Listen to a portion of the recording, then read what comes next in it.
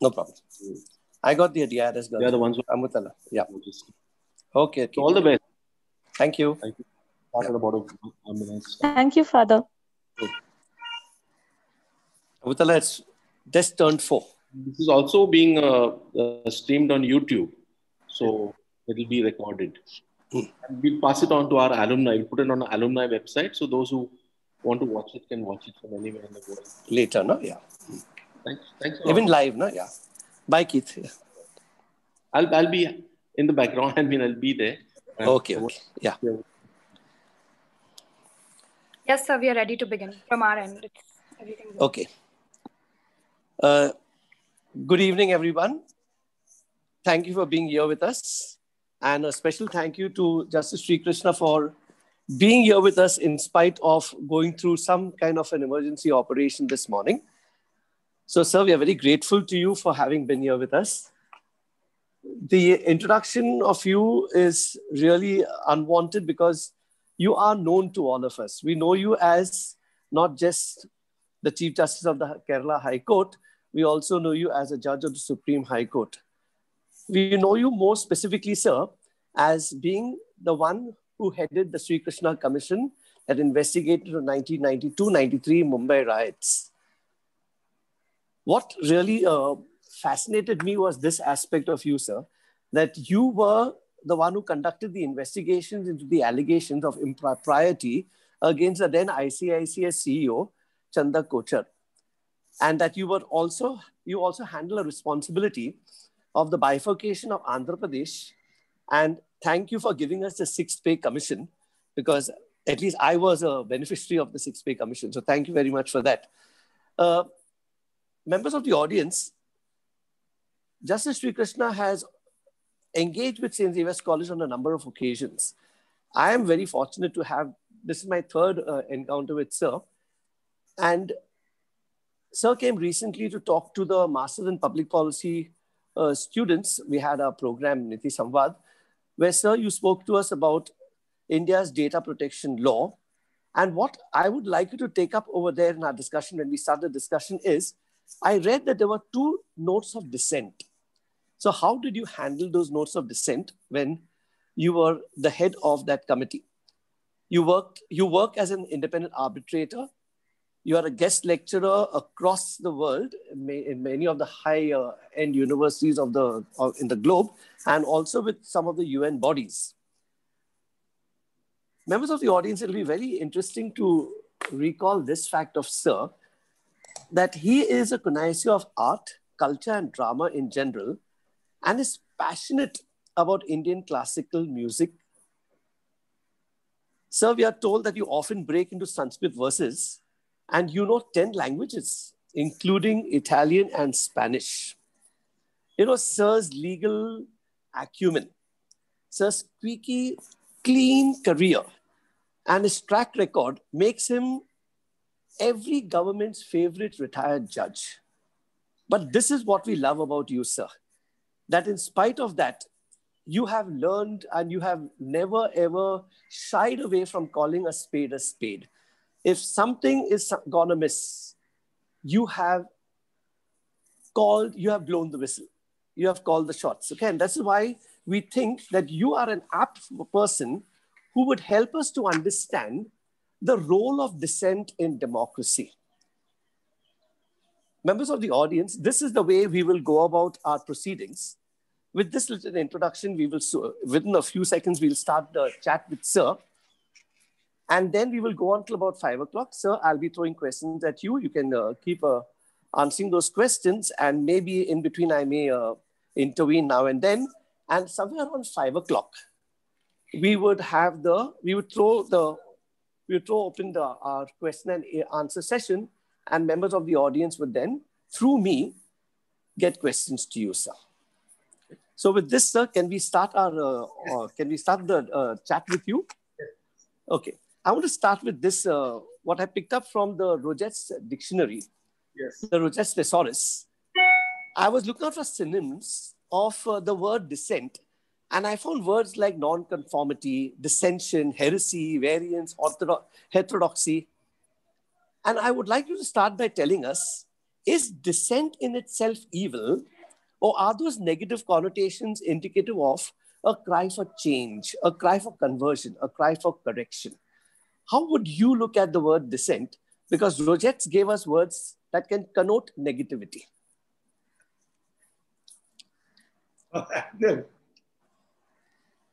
Look at what is nature. In nature, no two things are ever equal.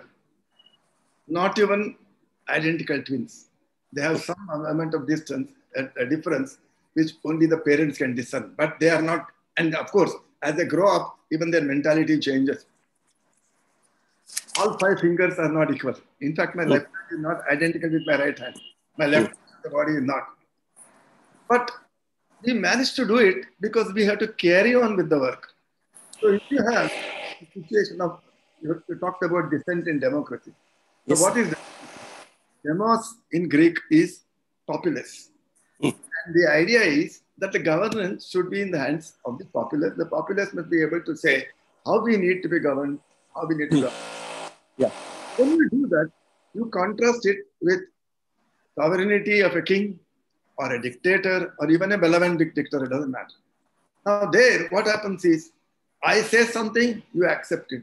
I will decide what is good for you. That is the contrast. Now, the moment you say that you have de- democracy, each person has the right to say how he needs to be governed. Now, that doesn't mean that each person will be able to govern himself. So, you have a methodology by which you say the maximum number of persons for the most greatest benefit of the, the, the populace is how you decide it. So, a democracy naturally goes by a vote of popularity of what is the actual uh, um, decision to be conveyed. So whether it is a company board or it is a societies or a trust board or even the government, how do you decide it? People want to govern themselves, give them a vote, and they will say, this is the how we want to do. it. But the moment you give a vote, there may be dissenting opinions. Somebody may say, I don't like this way of your uh, governing me. I would like to be governed. by-" Now take a simple thing, no? Somebody says everybody should wear a mask when you go out in the public. In. America, they have insisted that they refuse to wear ba- mask because it's a violation of their fundamental right. Now, I will not take you into a debate on that, whether it's good or bad. But here, people may say, I don't want to wear a mask. Or let's say you have a red light and the traffic should stop at the red light. There's a reason why you do it because you say that if you don't do that, there is a higher probability of accidents taking place. Now, if the people decide and say, let's have a red light here, so it governs the traffic, somebody may say, I don't like this red light because every time I have to slow down my car. Well, you have a dissenting opinion. We take that into consideration. We look at the issue in a larger perspective and decide by a larger vote what is necessary, which, uh, according to the larger vote, what is good for the entire community which is to be uh, governed. That is the role of the dissenting democracy. Now, I, I remember you told me about dissenting voices in the commissions which I headed. Yes, yeah. Why, why did it happen? I, I, I was chairman of the pay commission. Uh, no, sorry, in the pay commission, nobody was dissenting because everybody was getting more money. That's one thing. Ah. Then, Protection of data laws. yeah, no, that was the last one. Even before, in the Andhra committee, there was Yeah. a Mm. and there was a dissenting voice in the FSLRC which I headed. Yeah. Now, when you have a dissenting voice, you patiently listen to them, you argue it out with them. You know, they say, why are you dissenting? Now, dissent is not just for the just for the uh, dissent. They have a valid point to put across.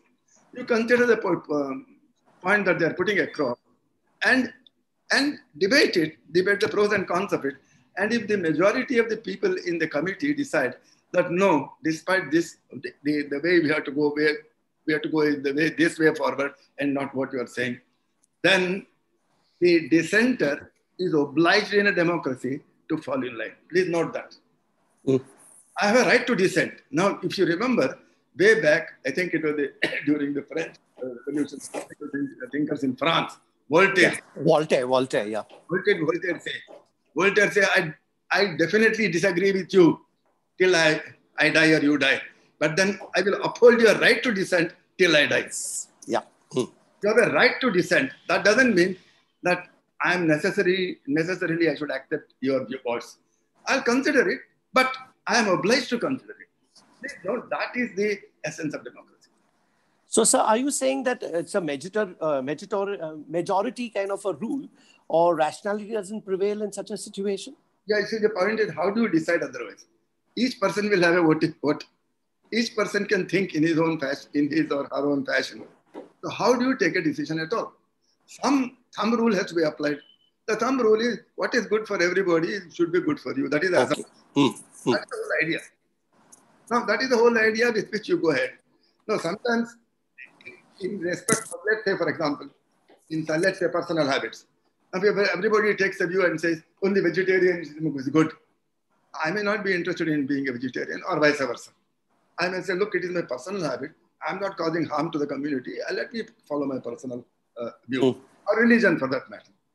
You can't impose religion because religion is a matter of faith. Hmm. It doesn't come by a vote of democracy.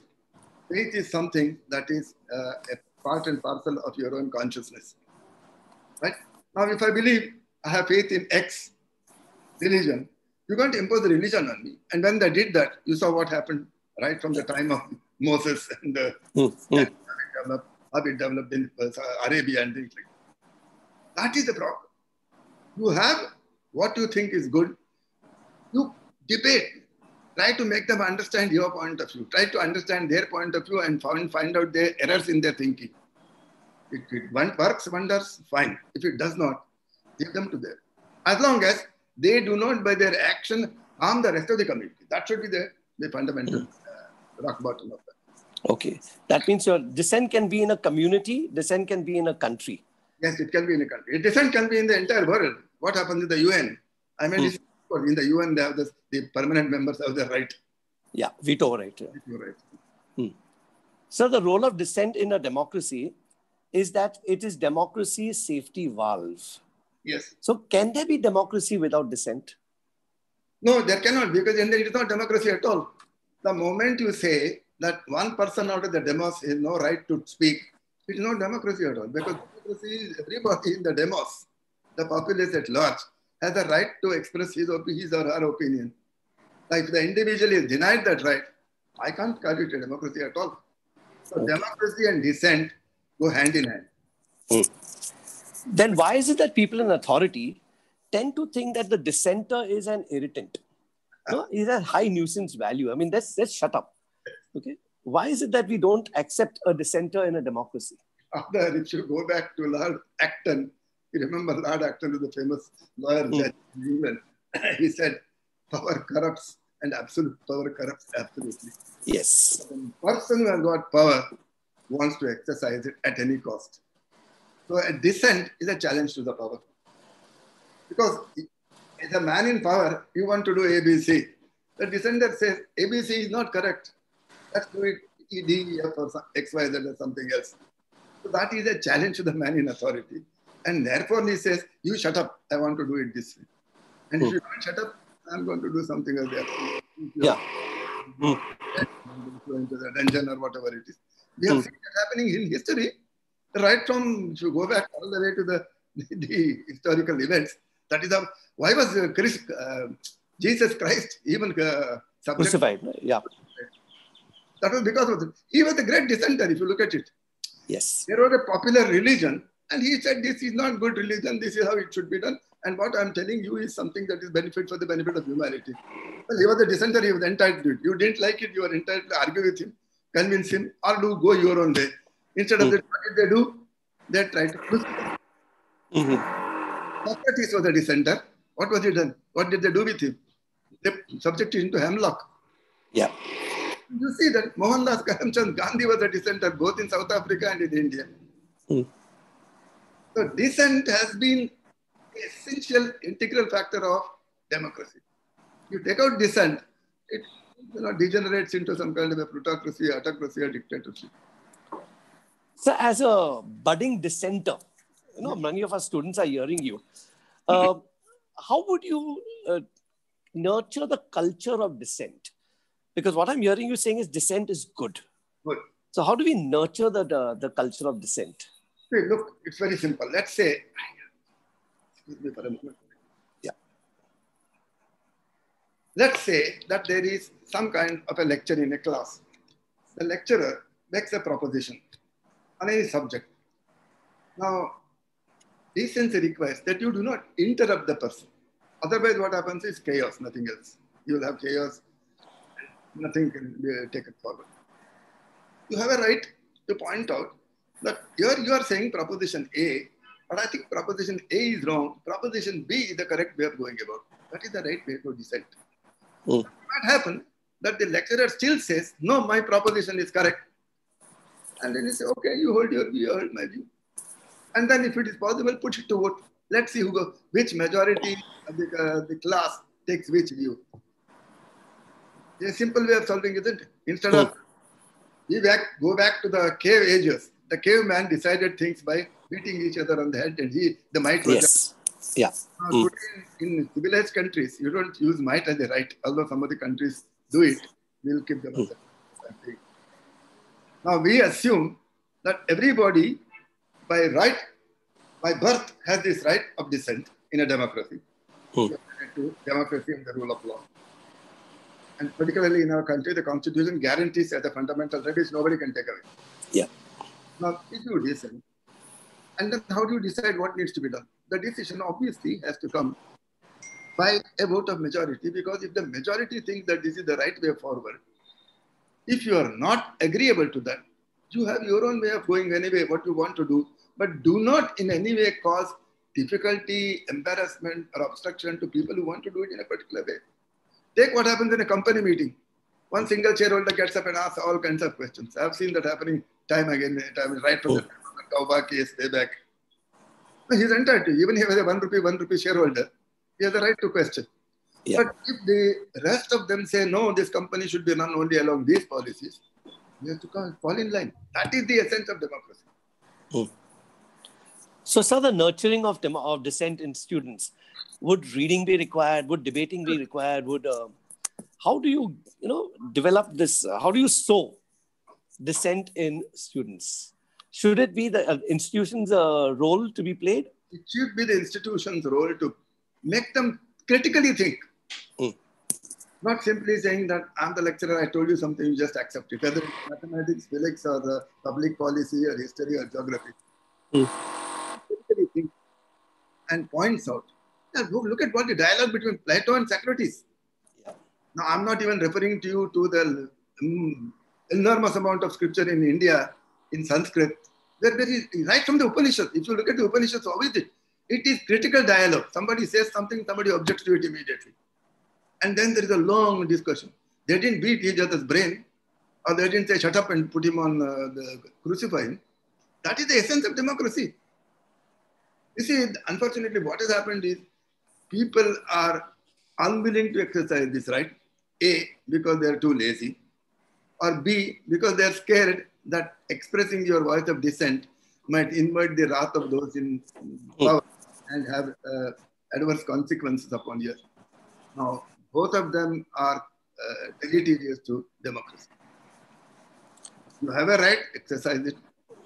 But remember always, having exercise, don't hold a, don't uh, grudge or nurse a grudge against those persons who want to take a particular view. Well, in hmm. society, you have to accept it. Now, if tomorrow everybody says we should all wear a jacket, I'll wear a jacket. If tomorrow we should all wear a dhoti in this country, and that is the law of the country, which has been passed by an overwhelming majority, I'll wear a dhoti. Doesn't matter. Hmm. At home, I may not wear a dhoti. I may say I'll wear only a short serve, I'll wear whatever I think is comfortable to me. That's the way things should go. So the best thing is you want dissent to be encouraged in students. You must allow them to critically think. And also, from the point of view of the institution, remember, their criticizing you is not a defiance of authority. It's a question of exercising their democratic right. Today inside the institution, tomorrow outside the institution, tomorrow in the governance field. Hmm. That is how it should. Now look at what has happened in various, uh, I'm not going to the uh, taking names in some of the universities, how things have come down heavily on uh, the students. Hmm. Just because they were able to they were they got up But again, criticism has to have. I mean, even the Supreme Court can be criticized if you ask me. I'm Hmm. not what happened to Prashant Bhushan. Ah, I was thinking of that only just now. I knew back to that. See, only thing is there is, there is certain amount of decorum in that. After all, it's an institution which we must really look up to. When we want to look up to something, give it the respect it deserves, but point out, say something is wrong. Okay. Sir, so what I'm hearing you saying is institutions play an important role in nurturing this thing. So taking it to the broader level at the country level, for a democracy to be robust, it is imperative that the state should uh, know, welcome positive dissent and criticism. Yes, of course. Should the, should the state even attempt to muzzle and silence people, therefore? Not at all. First of all, they are not allowed to do it by the constitution. Remember, freedom of speech is a fundamental right guaranteed under this. I can uh, draw your attention to what happened during the previous, uh, long ago, during Indira Gandhi's regime. Indian Express was sought to be shut down by various. Yes, yes. Remember the Indian Express case and the Yeah, blank, blank pages, blank editorials they would leave here. how we, of course, during the emergency, we were all youngsters. I was Yeah. in my 30s. So How Okay. we fought against that. How even a simple criticism resulted in severe action by the authorities. Hmm. Ultimately, demos won the voice of the people, the vox populi won. I mean, yes, temporarily authority may be able to throttle your voice. That cannot be a permanent solution. Because you throttle one voice here, 10 voices will come up there. You try to throttle them, another 100 will come up there. That is how democracy works. Sir, then how would you distinguish between violent and non-violent dissent? Oh, yes, that's why I said dissent need not be violent. See, if you look at what Gandhiji did, what look at Gandhiji's life is a good illustration. Mm. Uh, for example, take his uh, salt satyagraha. What is what was salt satyagraha? The British regime wanted to impose excise duty on manufacture of salt. So Gandhiji said, "Hey, look, you are not giving us any rights. We make some. We go to the sea, get some sea water, and make some salt, and then why on earth should you charge taxes for that? We will not pay you." And he insisted that he will go and take some and go to Dandi and manufacture. salt. Dandi much. Dandi. Then he went to Champaran. Yeah. where the indigo blue. Right. Mm. He fought for their wages and their um, minimum conditions of service. That is the difference. Decent in terms of human rights, decent in terms of basic human decency. No, Gandhiji did not believe in uh, picking up a rifle or an AK-47 and shooting the authority. No, he didn't. He didn't throw bombs at them. Gandhiji believed in non-violence. That was his credo. Now, whether Gandhiji's non-violence is a good thing or not, I don't want to be drawn into that. Yeah. Uh, Okay. some, on that, some other day we'll do it. But I'm just pointing out that was a very good example of dissent, both in South Africa. If you remember how he was thrown out of the Of the train. compartment and how Hmm. he. So what did he do? He said, "I am willing to suffer the consequences of my dissent, as long as it puts moral pressure on your conscience." And I'm sure that if there is some lurking conscience somewhere, you'll come to realize that what you are doing is wrong. That is all that is. Hmm. That is precisely the basis of this Quit India movement. Now we go back a little, little behind. What was American Civil War about? Isn't it? No representation, no tax. Yes. That was the popular decision that was taken across the country. And that to their um, The Boston. Boston Tea Party. Yeah. All of a separate history, we know what happened. Go back further up. Magna Carta about? Yes. There was a king of England who thought that he was he had the divine power to do anything and the king could do no wrong. That was their, their the legacy and from Mm. But then the people said, sorry, we don't agree with you. And there, because they were sought to be suppressed violently, you had all those uh, chamber uh, Yeah. star, what do you- what do you call them? Star chamber hearings. Mm. So ultimately, the whole thing exploded, and then Magna Carta was signed, and Magna Carta said everybody has a right. Parliament was established, and Parliament is really the home ground for democracy, home ground for dissent to be expressed. Otherwise, what is the purpose of Parliament? If Parliament has to simply stamp on what the power says, why do we need a Parliament? Why do we need a debate then? Hmm. You need a debate because you want to see the pros and the cons. if you shut your eyes to the cons and you see only the pros, you don't need a parliament at all. Then there is no difference between a dictatorship and a, a parliamentary democracy. This is the same thing. You go history, wherever you go, this is exactly what you will find. And now, you're talking of how far can dissent take? Now, unfortunately, even in India, if you remember, Gandhiji gave a fillip to the non-violent movement. But then some of the hotheads there decided that no, no, we should short-circuit it. We should Yeah. throw bombs at the British officers, killed some of them, and then you came, all kinds of violence erupted. Yeah. Hmm. Gandhiji didn't agree with it till the end, till he died. He was willing to sacrifice his life. Whether it is in India or whether it is uh, Martin Luther King, same thing. See, dissent does not have to be accompanied by violence. If it is accompanied by violence, then what happens is you are giving in to authority. Are, I mean, it's a very simple thing. I, I, I believe I'm not a great student of the Bible or anything like that. So if you call me names, if I call you names, I'm giving an opportunity to you to prove that I'm not a gentleman. Hmm. Otherwise, why did Christ try to say if somebody slaps you on the cheek, turn the other cheek? Hmm. That is the reason. Because ultimately, violence is not going to solve the problem. It is going to lead to further violence. In fact, if you remember, you were talking of the commission uh, of, uh, inquiry which I had in Hmm. the 90s. See, what happened then is there was this section of the Muslim populace, hot-headed people. Yeah. They wanted to express their uh, anger because of the demolition of the Babri Masjid. Yes, sir. Now, their anger was sought to be throttled. The moment it was in, and there was a lot of violence used, and the report is uh, Yes. with all that finding. When that was used, what was the consequence? They decided to import all those fellows who were waiting outside the country to come and destroy the country. So that led to the March series of bombings. Mm. But that was one of the findings.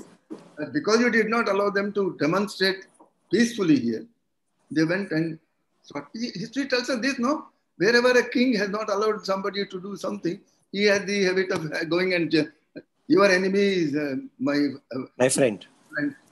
That's exactly what happens. So it is better to allow dissent. Dissent really works as a safety valve. Okay. So dissent is not something that is macho. No, you don't show your macho-ness because of dissent.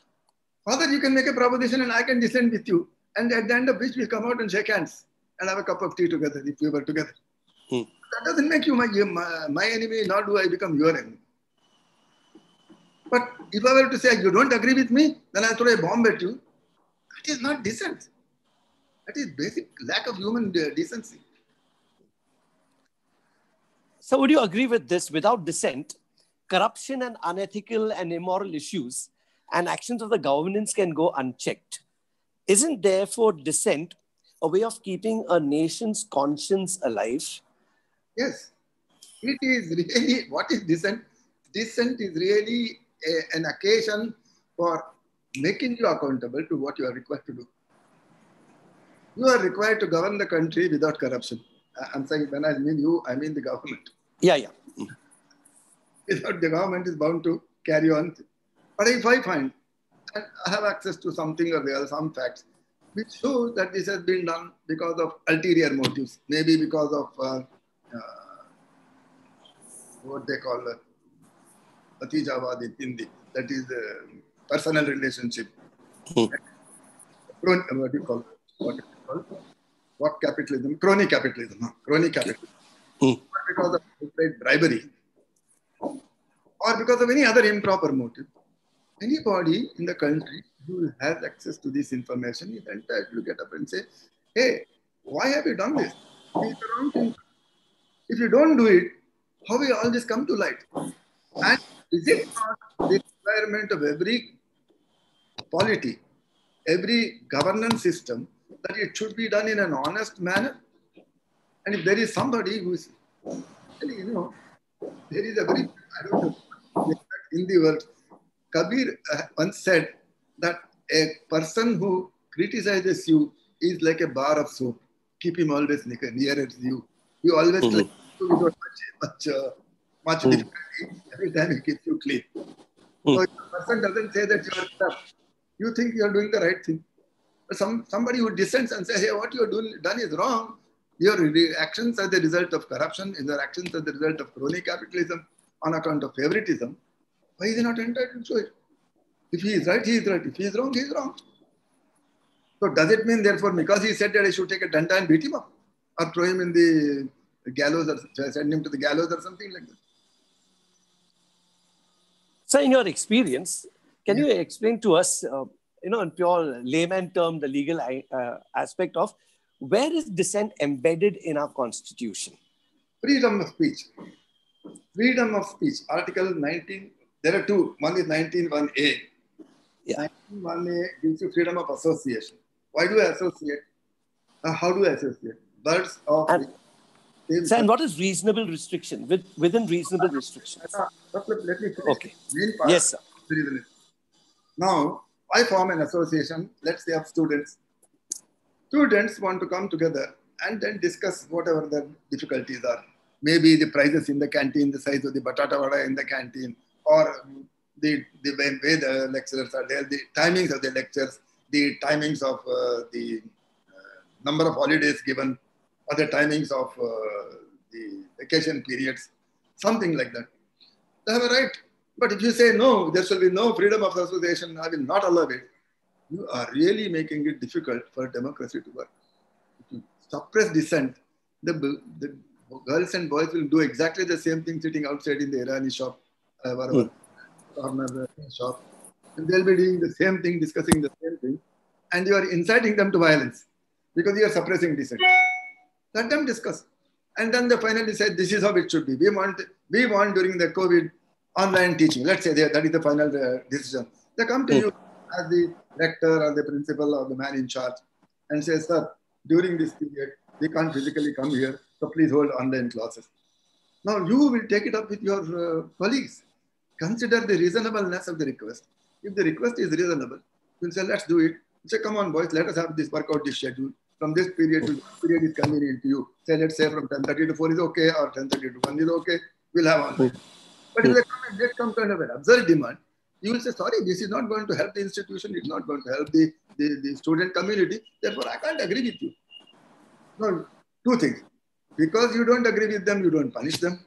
And because you don't agree with them, they don't throw stones at you. That is the absolute requirement of uh, dissent. And right now, this is freedom of association, freedom of speech. Both are guaranteed under the 19.1. Now, 19.2 is a very interesting thing. Now, I have freedom of speech in this country. So, am I entitled to? But you know, the freedom of speech is subjected to three restrictions. One is if it results in uh, the moral standards being affected, if it results in law and order being affected, the sovereignty of the country being affected some way or the other, or if it results in uh, law and order, I've already said. Uh, of course, the fourth one is contempt of court. Now, contempt court uh, has become a real debatable issue, but the reason was that you have an institution, you put it on a pedestal, don't defame it unnecessarily. Mm. Keep it within decent limits. So that is how contempt of court was. Otherwise, look at what happens. The judge hears two parties, makes an order, and says, All right, from tomorrow you should come here and do something or the other. And the man says, To hell with you, I will not do it. How do you run the institution? Then what is the use of the judge? What is the use of the entire system? So that is where the right of contempt is there. But now what has happened is there is also another provision saying that a right of contempt is if you defame the court or defame the judge. Does it really amount to contempt or is it necessary or not? Is a big debate that is going on. We saw what happened for Yeah. Mm. how they came out in a, a statement against the Chief Justice and all that. Mm. But ultimately, if the dissent is going to harm the rest of the, let me tell you one thing. Why is it that in a democracy or a democratic constitution, the state has been given this kind of an overriding power? Why should the state be given this overriding power that in the interest of crime or investigation, they are entitled to withhold your right? The whole idea is the rights of everyone will be protected if this is done. like what? Like what? Let us say I'm a terrorist. Right? I also have a freedom of speech. But if my freedom of speech is used for the purpose of uh, accentuating terror- terrorism in the country or for propagating terrorism in the country, is it in the interest of the rights of everybody else? Certainly going to affect their rights. Therefore, there is a limitation put on uh, constitution that in no circumstances you can do. it. And of course, there is elaborate machinery so that the right is the right of the state is not misused. There is a methodology by which this is true of, in fact, it is true of all fundamental rights under Article 19.1, particularly for association. Now, if my association is to, uh, let's say, debate all legal issues in the country, I can debate anything. I can say the Supreme Court judgment is wrong because, according to me, this principle that advocated by Supreme Court is wrong. What is wrong in that? Absolutely correct. If your voice can, in fact, you know, that is, I have always lamented that there is very little legal critique of judgments in this country. Go to England. Is that allowed, sir? Of course, it is allowed. People have no idea. Now, what makes you, hello, as a sitting judge, I have criticized the Supreme Court. You know that? And it is Oh. published in a law journal. I said, what you're doing is wrong. You're going into unnecessary PILs and doing the institute. Of course, I did it in a very, you read it, it's like a judge's uh, writing. Okay. That is permitted. Why not? In fact, that could be permissible. Because what am I doing? I'm not doing something against the interest of the country. I'm doing something very much in the interest of the country. How the Supreme Court should behave, in my view, is ABC. You may agree, you may disagree. That's your privilege. But saying that in my privilege, by saying that, am I going to harm somebody else? Then you put a restriction on my talk. Now I'm talking to you online. Am I advancing the interest of the country, the interest of the student, the interest of your institution, or am I harming it? If hmm. I'm harming it at any point, shut me off. That should be the test. That can be the restriction. Now, if I were to go online and say, hey, boys and girls, let's all throw stones at the legislature. Let's all throw, uh, let's all carry uh, weapons and go and shoot all the politicians, all the judges, and all your uh, teachers. Correct? That is bad. That is exactly where the study, actually, the law of sedition is being misused by every fellows in this Yeah. country. Sedition is bad. First of all, let's understand why sedition came into being. Sedition was an invention of the British regime. They did not like the local populace, the natives as they call them, to criticize the British sovereignty and the representation or representatives of the sovereignty. So any criticism of the government was called sedition. Now, the entire law has gone up around uh, the clock. A lot of judgments came into it, and very learned judges have went into it and said, hey, sedition is a right in a democracy. I, have, I don't have to be in love with the government at all. I can criticize the government every day.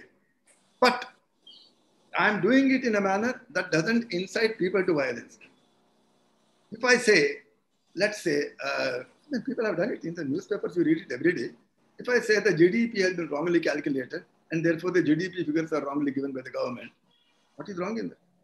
If I say the Supreme Court judgment in such and such is wrong because of this reason, now that is my view. I have a right to express my view. Maybe Supreme Court doesn't agree with it. You may not agree with it. The rest of the country may not agree with it. I have a right to hold my view. As long as I'm not harming the fabric of society.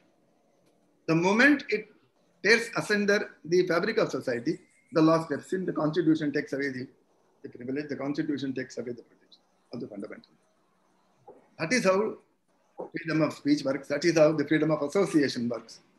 That is how dissent really should work. So, but in the current times, there are two ways in which you can dissuade me from being a dissenter. Yes. One is you send the gundas after me. Okay? You create hell for me. You break my head and those kind of things. Yeah. The other one is you pick me up and take me to jail. Yes, both are wrong according to me. Both are wrong. Yeah. Both are wrong. Even So where's the where's the redressal, sir? I'll come to the redressal. Both are reminiscent of what used to happen during the cave days. Hmm. During the cave days, each fellow carried a huge uh, bludgeon, and if I disagreed with you, I'd right answer Oh. is you agree or I hit you on the head. Hmm. That is done by the gundas.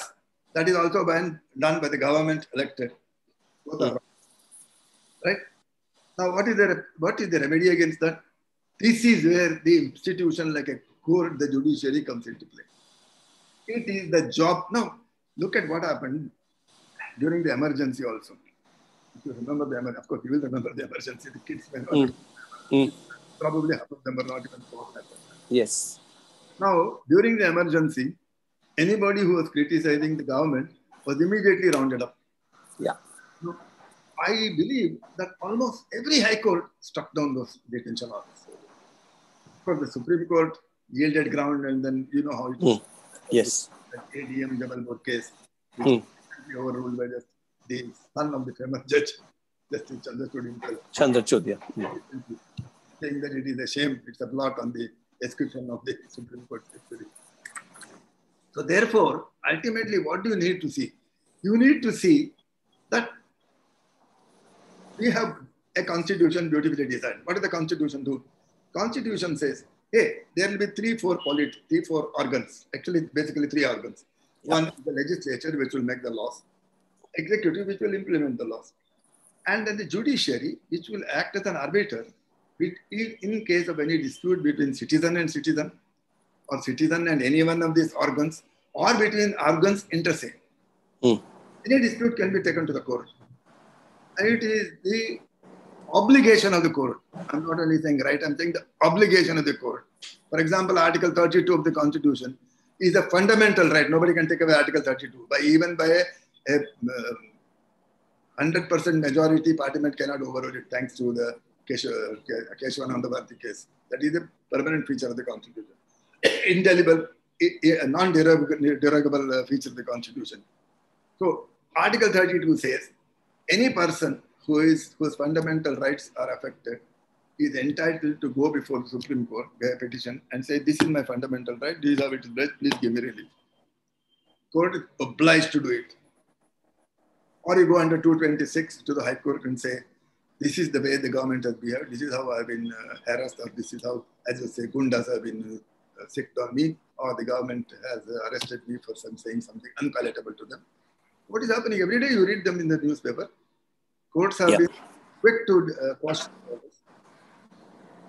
Isn't it? That is the Mm. job of the judiciary. So the- That is why it is important to keep the judiciary away from all this. It's good to keep them on a pedestal. Mm. What is on the pedestal we have, we think is holy. And what we think is holy, we unhesitatingly bow down to. And that is necessary.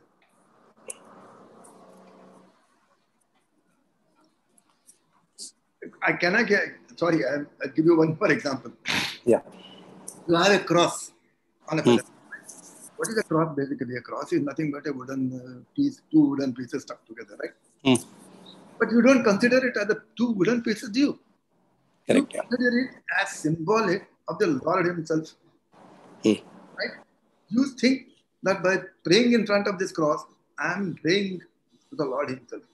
Now, if you had that kind of an attitude to the judiciary, all this nonsense would not be there.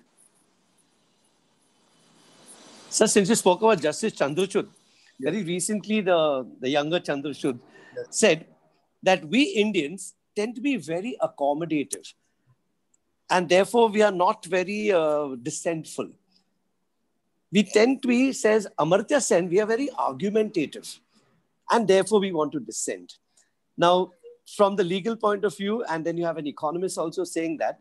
Uh, so, are we argumentative Indians or are we accommodative Indians? Actually, if you ask me, history of India, as I told you, our literature is filled with argumentations right from the Upanishads part on. And some other Yes, you said that, sir. Yeah. Yeah. Every argument, counter argument, argument, counter argument, counter argument, counter argument. That is really, in a sense, argumentative Indian. Hmm. Now, you also have this kind of argumentative. You get into the bus, you don't want to pay the thing. अरे क्या पैसा देने की क्या जरूरत है? हाँ. And if you ask you, तुम्हारा बाप का बस है क्या? right? हाँ. So yesterday I, I had this incident. Somebody was bringing his dog, and the dog, you know, dog being a dog, was defecating within the compound. So हाँ. the owner of the building shouted at him, "See, से तुम्हारा बाप का क्या जाता है?" now, the answer to that can be what? He can lodge a police complaint. He can go and file a crimi- uh, petition before the High Court of Bombay. Is he going to waste his time on that? So therefore, he says, I am accommodating to hell with it. I give him some gali and let him go. That is where the accommodation comes. You go to a, you reserve a seat in the, comp- in the train and somebody is occupying it. Go and tell him, अरे this is my set, तो क्या चाहिए तो इतना इतना में बैठो आप उधर बैठो. He will insist. And uh, particularly in the state of Bihar, there is a saying, Jiska danda uska bhais. Ah. That, that's taking you back to the cave Raj, you know. Mm. Caveman was that exactly the caveman's theory. Jiska danda uska bhais, jiska danda uska lathi. That is right. Now, why are we becoming very accommodative? This is because you have a right to move the court. All right. Now, I don't like what somebody did to me. My choice is to file a suit. Now I file a suit, and the suit doesn't come up for hearing for 25 years. What am I going to do? In the meanwhile, all my property will be lost, all my money will be gone, and I'll be continually, uh, continuously harassed every day. This is the reason why people become, become accommodating. Whereas in a country like England or United States, if things can be quickly resolved, the judge will decide immediately and give you some relief or the other. That is why we have become accommodative. And we have become argumentative in a pejorative sense. We curse each other and think that it is the end of the debate. So, you know, these two attributes of human life, accommodative and argumentative, is now being interpreted differently in, in the polity of the country. If I'm accommodative, I'm patriotic. And that is, If I'm argumentative, I am anti national. that is So, how do we resolve this? How do you reconcile this uh, aspect of dissent is fundamental in democracy? to say the least, that kind of an argument has no validity. Hmm. I'm being very circumspect in the usage of my language. Yes, sir. Look, accommodative does not mean you're dumb driven cattle. We are not. If we claim that we have any right to call ourselves a democratic, constitutional, Uh, constitutionally democratic country, wedded to the rule of law, we are not dumb driven cattle. We have a right to say this is wrong, this thus far and no further. If you are wholeheartedly agreeing with the government or the people in authority, if you honestly believe that they are right, well, that is your privilege. I'm not saying that is wrong. You, are, you have a right to believe that, you believe it. But that doesn't, that doesn't take away my patriotism. My patriotism is to my country, not to the person who may be in power today and be thrown out tomorrow, uh, power day after tomorrow. So I love my country, and therefore I'm pointing out to you that you are wrong. Because I want the country to survive even if, if your fellows are thrown out of power. That should be the real argument. So that is not accommodation. That is not dissent. Sorry, that is dissent, and that is not troublemaking. You have a right to point out why, because you think honestly pointing out will lead to the good of the country. And I have a- I have a belief. So, for example, take uh, that judgment in Sabarimala case. Hmm. So everybody made hoo-ha about it. That was that was raised was women's rights. Don't forget that. The lady on the bench had the courage to dissent, and she gave excellent uh, reasoning. He says religion is a matter of faith, so it is not a matter of Article 14 versus Article 30, uh, 21 and uh, Article uh, 31 or 30. Each, each operates in an independent fashion. So when it's a question of faith, you cannot enforce faith by a rule of law. Oh. I cannot say that you believe in me. Otherwise, we'll go back to the, the days when the Christians were thrown out to the lions because they did not agree with what somebody else said. Oh. You can't do that. That's not the essence of democracy. On the contrary, that's why I say we had great people in this country and who were willing to listen to the, the, the arguments and then point out the error in the argument. That is what is necessary. So the error is not pointed out by wielding a sword or putting him in the, in the current equivalent or putting him uh, in jail or something like that, but by argumentation. In that sense, we are an argumentative country, and we ought to be an argumentative country if you claim that we are democratic. So then we have, do we have a right to come up with laws like UPA, UAPA or TADA? Okay, where you're just catching me and putting me and shutting me up forever. They are intended for the purpose, that's correct, that, you are right. They are intended for the purpose of suppressing of criminal activity. If you go back to TADA, what was TADA about? TADA was uh, terrorism and expansion disruptive activity, something like Ah, Disruptive Activities Act, yeah. Terrorism, anti something, and disruptive activity. Now, if I indulge in terrorism, my rights are, uh, are bound to be curtailed. Hmm. So you cannot say that I should give the same fundamental right to a terrorist which I would give to somebody else, like for example, the right of speech. Um, if I were to send emails to 1,000 people, inciting them to throw bombs at everybody, every institution, that would be terrorism. Or if I say, let's all go and uh, throw a bomb at a mass congregation or something like that. What is going to happen? It's going to kill innocent people. It's not a killing is permitted only by law. Where across the border, you want to fight fight with the Chinese. Hmm. Hmm. We will we will say, uh, "Hail, glory be to you."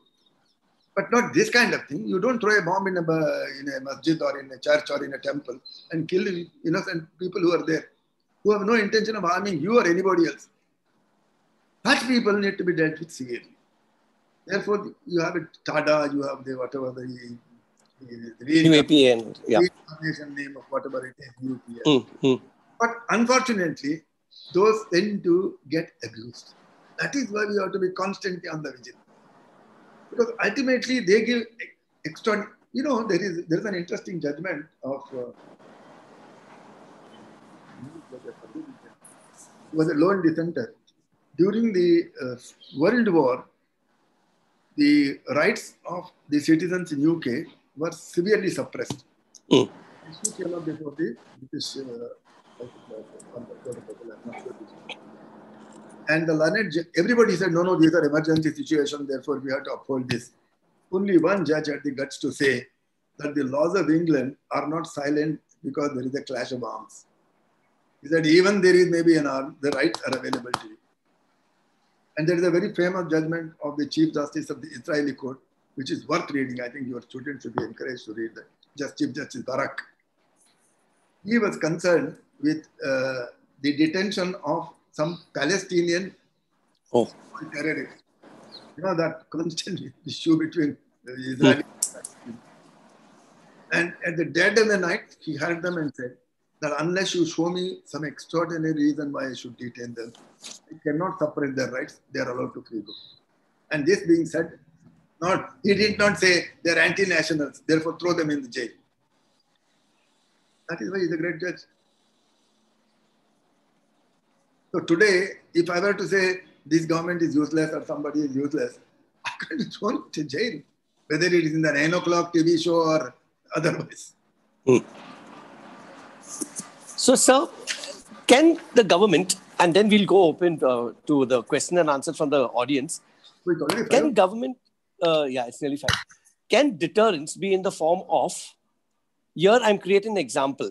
I take an innocent man who is working for the good of people, and because it's becoming painful for people over there you know exploitation can't take place and so on and so forth we put him in jail and create an example. Everybody chup baito nahi to aapko bhi jail mein dalne wale hai hum log. Can we talk can we can we tolerate this? Is there a way of the redressal point sir can we raise our voice? I, i'm sir can the fourth uh, the fourth pillar yes. the fourth estate can the fourth estate become an important part of this whole process?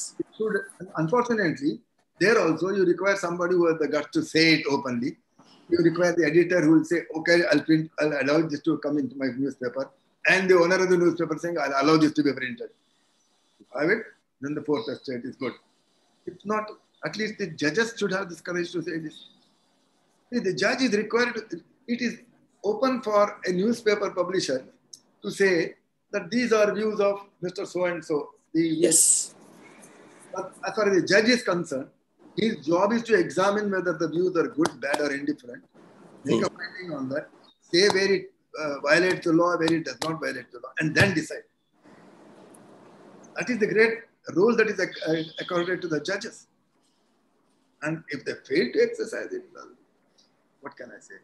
It is their job to do it, they are obliged to do it. That's why I repeat the word, they are obliged to do it. Obliged.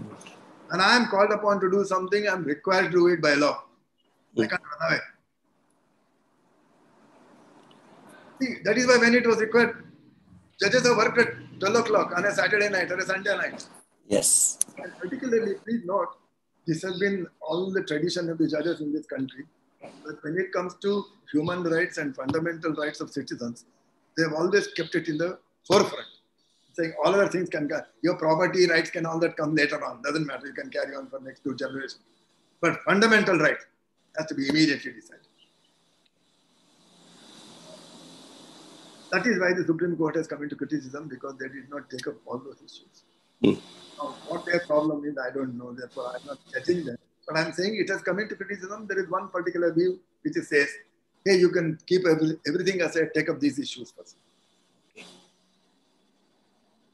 So, is it necessary that the press, the media world, be the watchdog Hey, that is of ex- uh, dissent? that's exactly their role, no? That is exactly their role. I mean, But they- are being hounded, sir. They are the media world is being hounded, and therefore, instead of becoming the watchdog, they are becoming puppies, no? yeah, yeah. Instead of being the watchdog, they, they, they have become the lapdogs. I agree with you. Yeah. Barring one or two honorable exceptions. Yes. I still hold one or two of them have the courage enough to say what to call a spade a spade. Hmm. Most of them have become that's because of you know the pressure put various ways. The pressure is that uh, in, the, in the good old days it used to be the newsprint. Newsprint is not a big issue today. Yeah. The there could be for a small uh, or a medium uh, paper or a journalist government advertisement mean a lot. Yeah. They may be totally removed. Even for TVs. Then, then the other thing is nothing except one telephone call from CBI director or the CAG or somebody in authority and the man will say, because the reason is this, somebody always has something to hide. And he's scared. If you have something to hide, you're scared of authority. You say, hey, let not let me not get into as they say in Hindi, it's a panga nahi lene ka hai. Yeah. Mm. You don't have anything to hide. Hindu saying is, Khuda bhi darta hai nange ko. Mm. What can you? That's why- I always said that you should have the courage to look anybody in the eye and say, Well, I've said this, what do you want to do about it?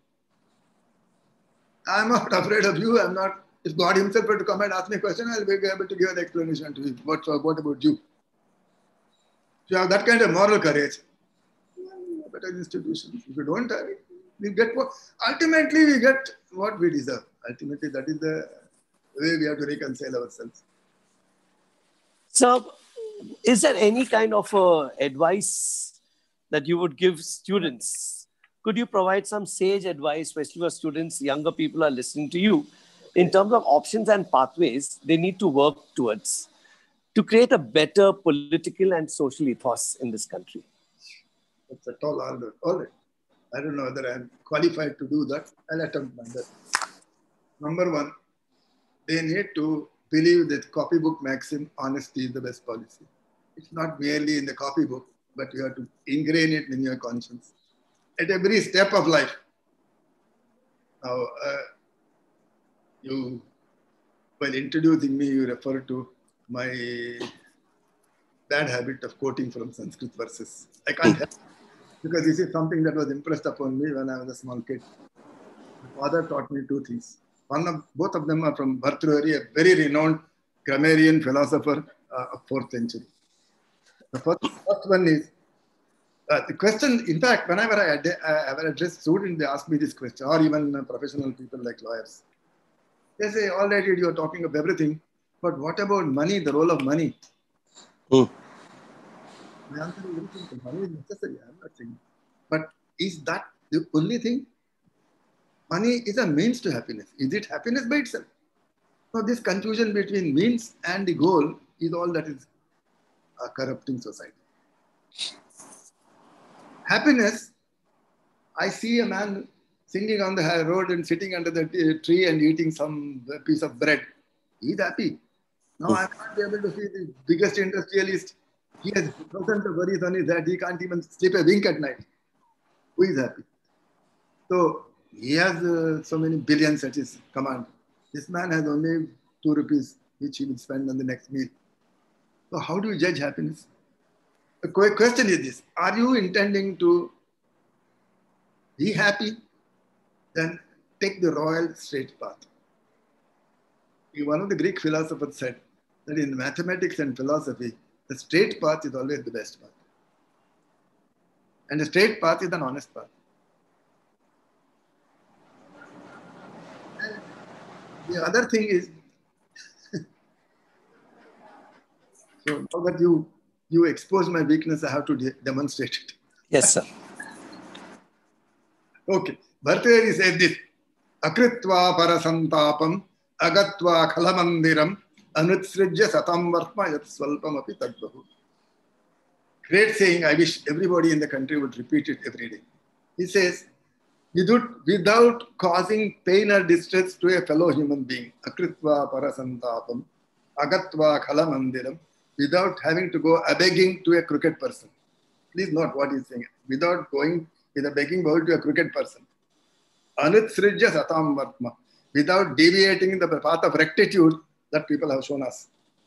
It's swalpamapi, whatever little you get, that it's more than enough for you. That is what he said. And this is what was impressed upon me when I was a kid, when I was four or five or six or something like that. The other one was a very humorous uh, anecdote between uh, learned man and Lord Lady Lakshmi. You know, Lady Lakshmi, Diwali is coming around the corner. She is Hmm. the of riches in India. So he says, Padme murkha janeshu dadasi dravinam vidvatsu kimmat saraha. So he says, eh, by definition, even judges are poor. Although they so this man may be a primary, primary school teacher or a very learned man otherwise. He says, Oh, Lady Lakshmi, why is it that you're always giving money to fools and ignoring people like me? So she laughs at him, gives him a very beatific smile and says, Naham matsarini nachapi chapala naivasti murkhe rati. He says, I am not jealous of you, and nor am I fickle-minded as people allege, they allege me to be, nor do I have any special affinity for fools. But I confess, murkhebhyo dravinam dadami nitaram. I always give money to fools. Tatkaranam suryatam. Please carefully listen to the reason. Vidwan sarvajaneshu pujita tanuhu. A learned man is respected wherever he goes, without irrespective of his bank balance. Murkhasya nanyagati. A fool is not respected, therefore I give him money so that he may earn. So I'll just look at the questions that have been asked of us. Um, I'll read what Ravi Chetri has said. In this age where government is hacking, is hijacking all forms of institutions, can we still rely on the judiciary, or even, uh, even though it's compromised?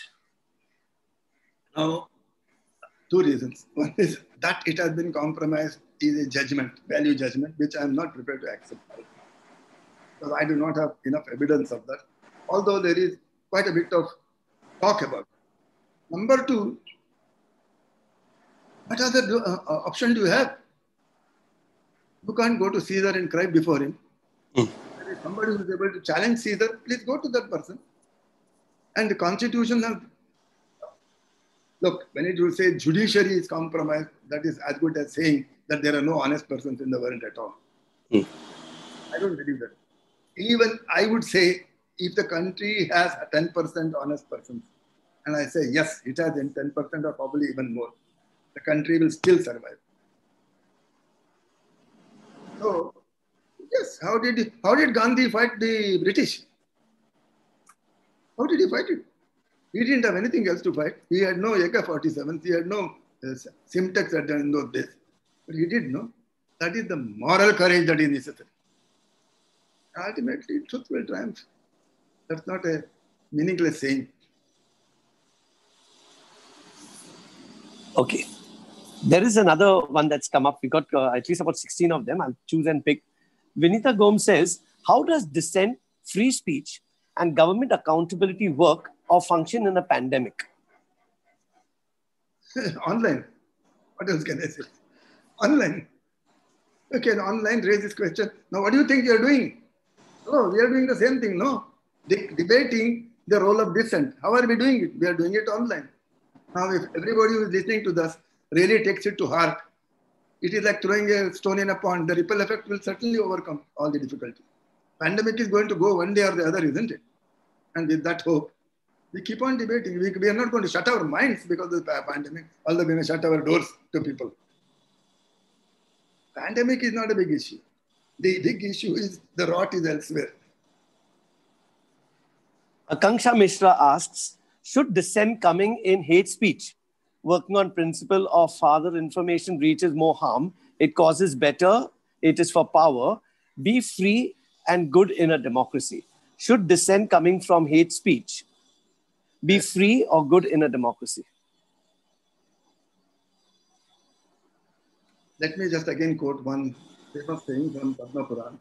It says, Shuyatam dharma sarvaswam chutva chaiva vadharyatam. It says, the essence of dharma. Dharma is what? You know what is dharma. I don't have to translate dharma.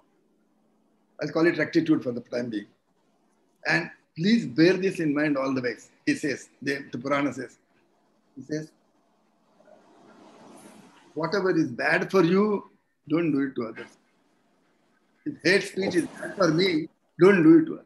Atmana. Whatever is bad for you, please don't do it to others. Violence is bad for me, I will not do it. Theft of my property is bad for me, I will not thief, take, uh, commit theft of somebody's property. Hate speech is bad for me, I shall not utter a word of hate speech. And I always, if you remember, I started by saying dissent should not degenerate into disrespect for human values. Yes. Remember what Voltaire said? That is the correct way of going about in the democracy. I am willing to die for your right to criticize me. If you have that much of moral courage, I don't think there is anything that should bother you at all. There's an anonymous question. Are there limitations to dissent? When disagreements are about racism or granting human rights, are they acceptable? Dis- sorry, come again? Disag- when disagreements are about racism yes. or granting of human rights, are they acceptable? No, you, see, the point is this. They may not be, they may be unacceptable to you. But if he holds a view like that, supposing if somebody holds, for example, you know, something very interesting in America, if uh, not even a majority, a complete, uh, uh, all the nine judges in what was the Dred versus Scott or something, they upheld the upheld the contention of the government in the good old days, saying that the Negroes had no right of any kind. Oh. Yeah, yes, yeah, there's a very famous oh. Dred versus Dred versus Scott. Till it was reversed in that uh, George versus Brown education or something like that, where he said, no, it can't be then. And then the federal government went into busing and education and all. They took that view because that was the popular view at that time. So, if that happens, there should be somebody to dissent. And the dissent came maybe by the Supreme Court itself two centuries down the line. Not two centuries, maybe 50 years, 60 years down the line. Mm-hmm. That is dissent. That is the power of dissent. Somebody said, hurry, you can't hurry just because the man is black. Am I going to say he has no human values? What happened in those days? Black people were thought, uh, why for that matter, even Indians they considered it were not humans. They were treated in a inhuman manner. If you remember, in Bombay, there used to be a board in that, uh, what is that, club there on the uh, Hindu Hindu bath? No, not Hindu. Bhulabhai Desai Road, it had a British name earlier. Radio club. Not radio, not radio. It said no admittance to dogs and Indians. Oh. Yes. So that was the value that they gave it to us. So if Yacht dissent club. was there, Yacht club, yacht club. no, no, not yacht club. Yacht club is a decent club. They, the one on Bhulabhai Desai Road, I used to be, a, I was appointed as administrator. Oh, Bombay Gymkhana. Bombay Gymkhana. So please, not Bombay Gymkhana is a very decent. Beach Oh, candy what? bath. Beach Candy, ah, Beach, Beach Candy. candy. Beach Candy Club, that's correct. I forgot the name. Ah. Beach Candy Club, for till very recently, had this. No admittance to uh, dogs and Indians. Dogs and Indians. And they put a second on that list, huh? Dogs and Indians. Yes, first, correct. First is dogs. At least dogs. dogs are greater. Uh, See, that is the point. If you had not dissented it, that would still be there today. So somebody had the courage to dissent. Somebody had the courage to say this is utter nonsense. Then have it removed then and there. That's the value of dissent. So Sandesh has this to ask of us.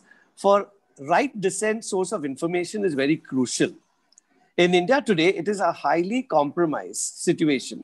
What is lacking the source of information is not very easily available. Laws reform or just will of the government, willpower of the government. I'll just read that again, sir. For right dissent, Yes. source of information is very crucial. And in India today, it is highly compromised. What is lacking, asks Sandesh, law reforms or just the willpower of the government? No, no, neither of them. Your source of information today need not come from the government. I assume that you suspect that the source of information is suspect. You have your other means of communication. What do you, think you are doing now? This, this is communication between you and me, which has nothing to do with the government. It is not filtered by the government. It is not censored by the government. Your freedom of association is there. You can have your club where you discuss the issue. You can discuss them in your canteen. You can discuss them uh, while going on the train. Of course, trains are not running now. While going in the bus or walking on the street. There is no question of discuss means of communication. Why do you assume that means of communication means only controlled TV and controlled uh, newspapers? Or you could even access what BBC says or what uh, CNN. CNN says if you don't trust your own uh, news, news channel. At least they have an independent view of what is happening in the country. So why do you say that there are no news channels? Of course, there are news channels. The question is, do you want to take that at face value or this at face value? What is it? And who would be the arbitrator, sir, to say who which uh, which one, which value or which information is? That's why I said each one has an opinion. Each one may say, I may believe in racism. I told you. Yeah. That's my funeral. When 99.9% in the country don't believe in Indians being equal to dogs, if I'm stupid enough to believe that, just leave me. People will not interact with me. But you don't have to kill me for that. Not you don't have to administer hemlock for that. Tell me, say, okay, this one is an idiot. He believes that. Let him leave him alone. If I were to please look at this, if I were to dis- disseminate this idea that Indians are equal to dogs, what will happen to me? Of course, now it now you have got people will come and dash me up. They forget that. will dash me up. this old man is stupid. He doesn't understand anything. He's got his. Just leave him alone. That's what happens. But why do you want to force me to change my idea?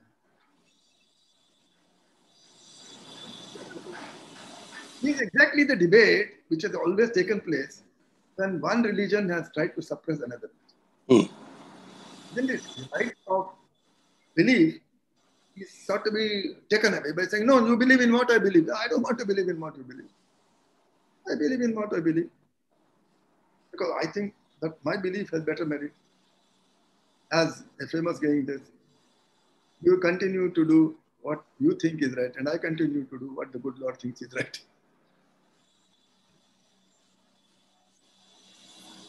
So there is a, another one over here. Yes. Abhay, Abhay Trivedi says, Sir, you spoke about veto power as an example of dissent. But aren't veto powers given to a few select countries examples of dominance rather than dissent? Veto power was not, I didn't cite veto power as the power of dissent. I said there is a right of dissent in the UN General Assembly also, but unfortunately, veto power has been perpetuated because of the five permanent members. That's what I said. I didn't Hmm. exemplify veto power as the power of dissent. No, certainly not. But there is a dissent.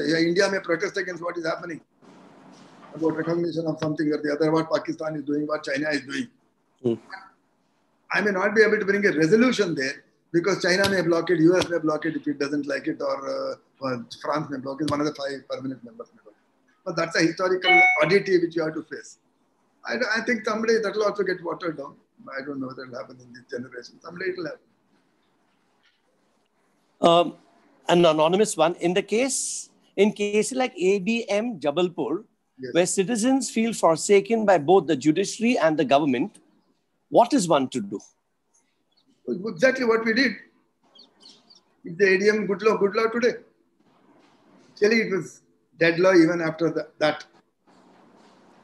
ADM talked of the diamond bright hope and the diamond bright uh, is that something else of the government and the idea that it will be a pater familias, it will do everything good and all that.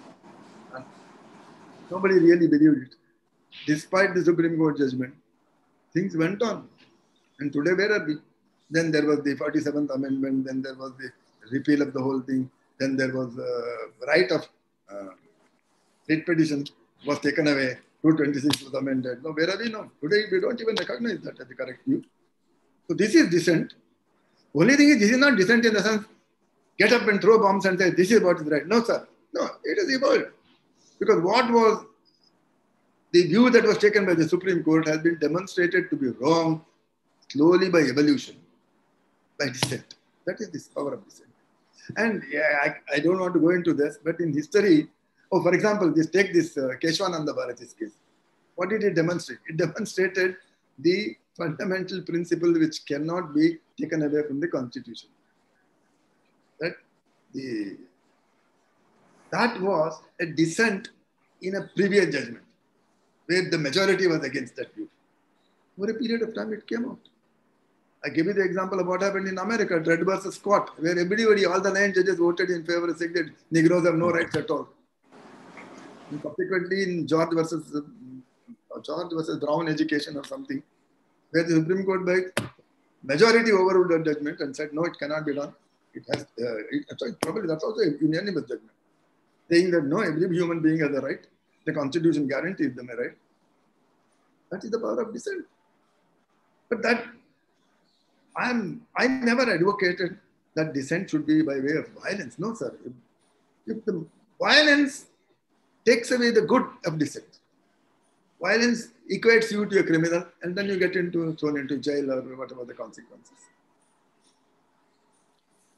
So another one over here is, sir, how can ethics and legality be read together? If the government follows something unethical, aren't you obliged to follow it even after dissenting? No, no. I, why should you follow what is unethical? I don't understand how. Le- legal, yes, you are required to follow because Parliament has approved law. You are under the law is struck. You are to, you are bound to it. Unethical? How? If the government says corruption is good, am I going to be corrupt man? If the government says that uh, doing some immoral act is good, am I going to follow that? I don't understand that. The person has no. Government cannot say being unethical is good. Which government has said it? On the, on the other hand, they do it slyly. They will not say it is good because they dare not say. Nobody in his right senses is going to say that stealing is good for country or killing is good for country. Nobody will say that. But they may do it. That's a different matter. The difference between uh, practice and preaching is always there. But I don't equate the two.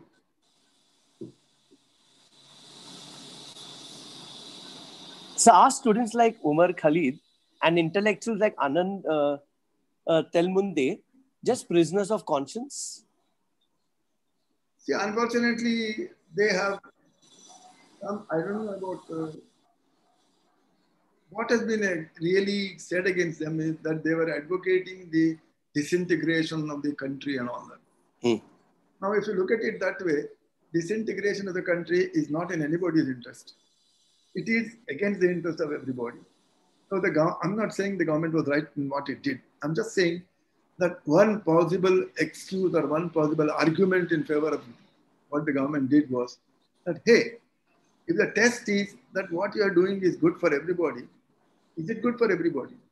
It's not good for everybody, therefore they have to suffer the consequences of law. That is the only way in which, very charitable way in which I can justify it. So we finished most of the questions. I just want to wind up with a lighter thing. You know, 10 languages. Is the word dissent, is the word dissent having the same kind of connotation, the same nuance across the languages that you know, sir? At least in the Indian languages. In, in the Indian language, what would it be, sir? In Sanskrit, what would it be? Yeah, I'm just trying to recollect how, how would you say dissent? Ah, dissent is called Vipratipatti. Vipratipatti. Vipratipatti in Sanskrit means an objection, a dissent. Well, it has. I told you, I can show Brihadaranyaka Upanishad, I can show uh, Kathopanishad. There is a constant dissent by somebody or the other. But not dissent in the sense uh, uh, degenerative in, in the politics, calling each other names or anything of that sort. Mm. You see, for example, in Kathopanishad, the, the story in Nachiketa goes, his father is giving away arms and all that. He finds that it is useless thing that is gifting. So he got fed up. That is the first first presenter. He goes to his father and says, Hey, dad, you are giving away useless cows as gift. You are giving away useless things as gift. Why don't you give something? Why don't you donate me? I'll go as a gift. So the father doesn't like it. He says, No, shut up, go away. Again, second time he goes and says, Father, what you're doing is wrong. You're doing a wrong thing. He gets angry and says, I'll donate you to Yamraj. Ah. So Yama is the god of death. So this boy takes it seriously, goes all the way to Yama's abode, and sits there. And he asks him a question. And of course, Yama is not there. Yama is on official tour, I think. So he sits outside his door, waiting for three days. At the end of the tour, Yama comes back. His conscience pricks him. He says, This young boy is waiting here for me without any food or uh, water. I must be good to him. And then very graciously he says, I'll give you food and water. He says, I don't want food and water. I want you to answer this question. He says, There is a debate. Some people say that when you are dead and gone, there is nothing else. Some people say there is something else. You tell me what is the correct answer. That is the debate he starts. And then the whole thing goes on. That is the argumentative Indian. Not giving gali to each other. And Yama, Yama is a very smart chap. No, Yama is like our um, politician. He said, Yeah. I don't ask me this kind of complicated questions. What do you want really? Your father is angry with you, I'll make sure that he doesn't get angry. I'll give you so many, I'll give you so many thousands of rupees. Please go away. Said, I don't want all this. You answer my question. He says, What do you want? She said, I want you to answer three questions, and each one of them is a solid question of philosophy on which the entire Indian philosophy has been built up. In Spanish and Italian because uh, I I'm know that. This is, this is misinformation. I didn't study. Oh, acha. I studied Russian when I was a very young boy. When I was still in my 20s. Can you recall dissent in Russian? No, I don't remember. Actually, I don't remember anything. I was way back in the, not much, I mean, when I was in my 20s my 20s or something, Okay. almost 60 years back. But right now, I'm studying Japanese. Oh, wow. So my teacher thinks that I'm crazy to be. I said, no. Like she asked me the first question. She said, why are you studying Japanese? I said, very simple. Japanese has three ways of writing, three, three scripts. The katakana, the hiragana, and the kanji. It has four ways of writing. You can write from left to right, right to left, top to bottom, and bottom to top. He says, what more can be challenging? And I can never resist a challenge in my life. That is my problem. That is why, a point, I've gone into all kinds of things. I when I started my commission, the first commission which I did in 1992, I did the ABC of commission. And this was a clash of Hindus and Muslims. And I am practicing Hindu the um, uh, religion on his forehead all the time. Yes, yes. So, The newspapers describe you that way. yeah, rightly, for once. Yeah. So my, I went, when the Chief Justice asked me, the Chief Justice was a lady at that time. He, she went through the list. huh? The government wanted the name to be recommended. There Ah. were 35 at that time. From the top. Everyone said, no, I don't want to do this. No, I don't. I was number three from the bottom. When it came to me, he called me and said, Srikrishna, will you do this? I said, I don't know anything about it. But I have a reservation. I said, I am known to be a practicing Hindu and I will not swerve from my religion. Ah. And this is a constant cri- strife between Hindus and Muslims. Do you think people will have faith in me? She asked me one, one very important question. Is when you put on your robes and sit in court, do you consider yourself Hindu, Muslim, or what? I said, no, I consider myself a judge. At that time, I'm an absolute judge, nothing else. He said, what is the problem? You can go ahead and do it. I Joe, I did it. And I'm happy that that commission has been held up as a model for all others to follow. I didn't know anything else. It was scratch. Yeah. One thing in life is no challenge I allow, go, allow to go wasted. Any challenge, I'll take it up. So similarly, I told my teacher and said, Japanese. She said, "I'll learn about it." So if tomorrow Chinese is made the official language of this country, give me six months, I'll be able to proficiently argue. You a dissenter, sir? I'm a dissenter, yes. In fact, oh, I will tell you something very private. Because I was a dissenter, I became a, I became a lawyer. Oh. My father was a lawyer. I was studying physics and I wanted to study nuclear physics and quantum physics and things like that. I passed my BSc, I applied for MSc to the Institute of Science. they said the money has to be paid after some dates or and it was a vacation period. I was sitting at home, it was vacation, and my father was insisted everybody should be at the dining, dining table in the evening. And some argument started. And he said something which I couldn't stomach. He said, Oh, you can't be a good lawyer unless you have some special intellectual prowess or something. I said, Hey, what? If you can be a lawyer, I can be a better lawyer. He said, Son, vaktum sukaram dushkaram. That's a beautiful saying. He's saying it is easy to speak, but it's difficult to show it in practice. So, okay. Next day morning, I applied to law college. I, got, I got my admission. I graduated. Professor, calling me and said, What is the problem? Are you having financial difficulty? I'll Uh-huh. I said, Don't, don't worry, finance is not the problem. I was very angry with you. You got good career because you know, those were the days when atomic energy had been started. Yeah. Mm-hmm. Mm. Homi Bhabha was our uh, model. He was the star which we wanted to follow. What are you doing? He's allowing a glorious career to go waste. He can taken the challenge and I'm going to do So I always say that the loss of the legal firm, legal field was the gain of the scientific world. So, sir, thank you very much for being with us. We really enjoyed talking to you. And uh, we will learn. Honesty, the straight road is the best road. We will learn to be the perpetual argumentative Indian and the dissenter. But before I go, I want to tell you this. As I look at your face just now, you look like Joe Biden. yeah, you really look like Joe Biden. That's how that laugh of yours is making me think of Joe Biden all the time. I, I told you, you know, if you remember, I told you when I began that during the talk, if I wince, please pardon me because my shoulder was really hurting. Yeah, yeah, yeah, yeah. I told you that if I get involved in the talk, I might not even I. Yes, So I thought, if you notice, the pain did not bother me even once. yes, sir. So thank you very much. Thank you, audience, for being with us. And sir, we look forward to once again interacting with you on some other issue.